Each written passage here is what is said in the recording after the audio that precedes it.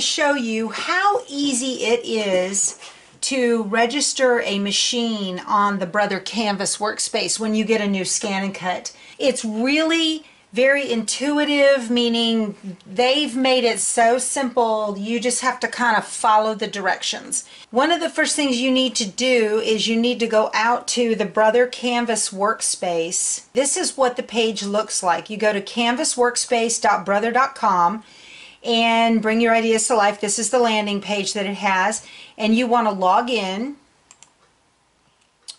and tell it to remember you. If you have never been here before, go ahead and create a password.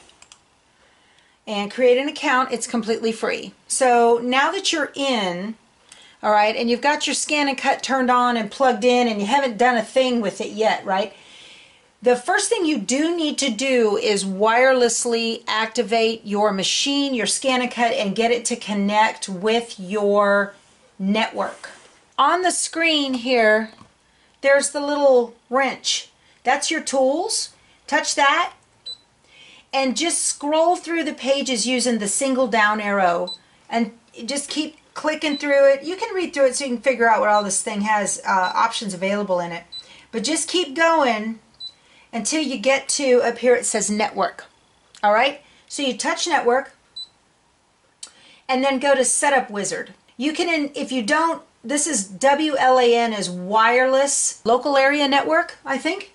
Wireless LAN enabled. You can click on right there, but even if you don't click on, it'll ask you to turn it on in a minute anyway. So you go to Setup Wizard and touch that, and it says searching SSID, and then you pick uh, a network that you want to connect to, okay? And mine has more than one because my printer is telling it that it uh, it is wireless. I have 5G here at the house, but it looks like it's not finding the 5G. It finds the 2.4G and then I have a wireless network extension. If you have more than one in your house, you want to choose the one that is closest to the machine. So I picked this one and hit OK. And it says there is a saved access point. Okay to connect this information. Yes. So it's connecting to the wireless LAN and it's going to ask you to put in your use your your password. So it says connected to wireless LAN. Specify the Canvas workspace setting in order to send cutting data between Canvas workspace and the machine. So hit next and it's happy. Now register the connection with the Canvas workspace and the machine in order to send cutting data to the Canvas workspace. So that's where you got to bring in and pull up your computer, log in or create an account if you need to, and when you get to your account and you've got this page right here, this this basic page, go up here to your name and click that and here's machine registration. So you want to hit machine registration and it shows machines that I've got more than one here because here's my old 650 and this one here, we connected at the show when I was doing that demo, but I can't connect to it now, obviously, it's not here. But uh, register a new machine. I'm going to do that.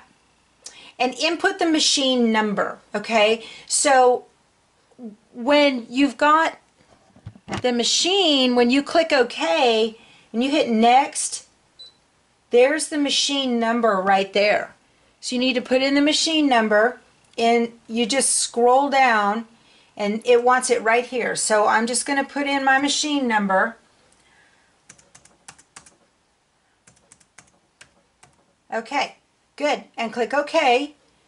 And it's going to give a PIN code right here. On the machine, I put this number in on the screen over on my laptop. I'm going to click OK. And it says, what's the PIN code? So I'm going to put in the PIN code that the next page gave me. Okay, and click OK.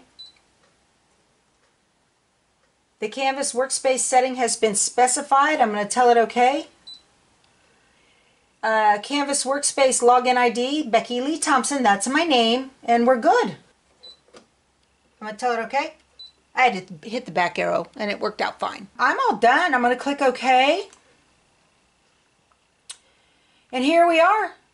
Uh, there's my new one. It says ready for data transfer. I'm good to go. It was that simple to register the machine with the Canvas workspace. You want to do that because that way you can wirelessly send designs when you scan in then you can you can edit them on your laptop which is so much easier you can do it here on the screen or you can save it to a USB stick and then take that USB and put it on your computer. You know you've got wireless capability. You might as well go ahead and use it right? So now everything's all connected easy peasy. I'll be able to upload data that I scan into the scan and cut wirelessly up to the cloud and I can edit it in the cloud. I'm going to go back here to Canvas Workspace and go back to my projects. There's the stuff we're working on. Yeah, this is awesome. So now this is all good to go. I'm pretty happy about this. This was really simple.